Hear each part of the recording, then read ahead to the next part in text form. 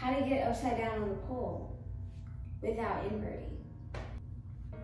If you're interested in learning more about how to do this, then stay tuned and keep on watching. Um, just make sure before you start, you're all warmed up, you're stretched. Have a crash mat out um, if you have no one around to spot you and you're a beginner or this is your first time trying this trick. Please just be safe. Um, don't do anything dangerous, okay? All right, nice pep talk. You don't know what inverting is, I will show you that really quickly. An invert is just a basic straddle upside down on the pole, okay? And I'll show you what that looks like right now.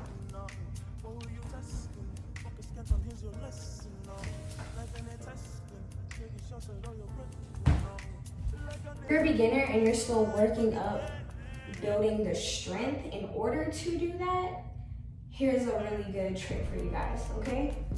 So to start out, you need to be in a jasmine. So you're gonna start in a side climb, okay? You can just do one side climb into your jasmine. I'm gonna climb higher up the pole so I can show you guys.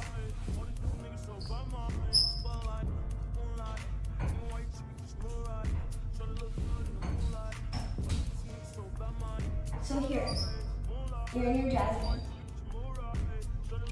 You need to be able to release this top arm, okay? You need to feel comfortable doing that.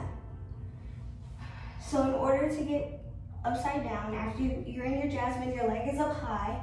I release my top arm, and then starting out, you wanna slowly drop this arm, this bottom arm, until you're upside down in your Scorpio. And then from here, I can release my leg back in, in my actual Scorpio. But that's that'll be for another video. And then to come down, you can just reverse invert out. You can begin climbing in a regular climb and then switch over to your side climb, but it's, it's preference, it's, it's up to you. Um, if you already know how to side climb, you can just side climb and go right into it. But either way, you need to get into your jasmine. So I start parallel to the pole. My inside knee is gonna hook the pole, like so. And then once my inside knee hooks the pole, my other leg is gonna shoot behind the pole, okay? My other hand is gonna grab in the middle, and my other leg is gonna shoot behind and hide. Okay, and you can point your toes for a really nice secure grip. And notice too, when I'm when I pull my leg in in my jasmine, I'm really gripping the pole right here with my leg in order for me to release my hand. Okay? That's your prerequisite, okay? You need to be able to do that move right there in order to get upside down without inverting, okay? So I'm gonna start up high on the pole so you guys can see. I'm gonna start in my regular climb or you can side climb, it's up to you. Up to you.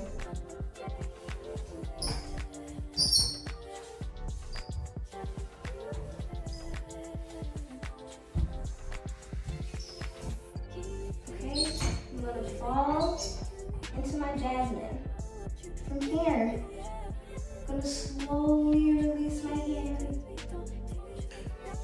until I'm upside down.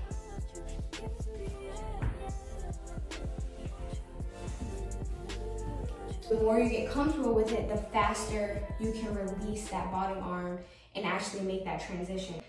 So in the beginning, you wanna release back slow. Okay, you wanna drop that hand back slow. And as you get more comfortable, you can just fall into it and make it look really dramatic. I'm actually gonna show you this on spin really quick because it looks really pretty. So just put my on spin going to show you guys really quickly what that looks like.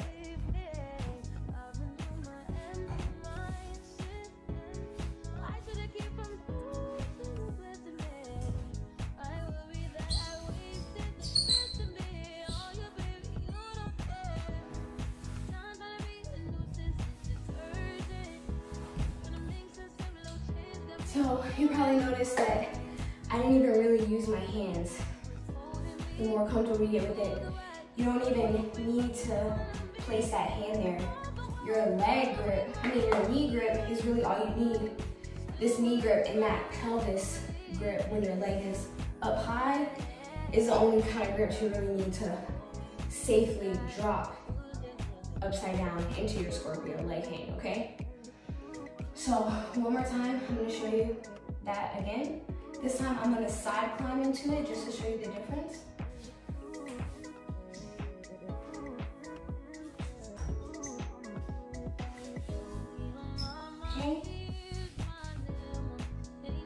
And then I can just drop.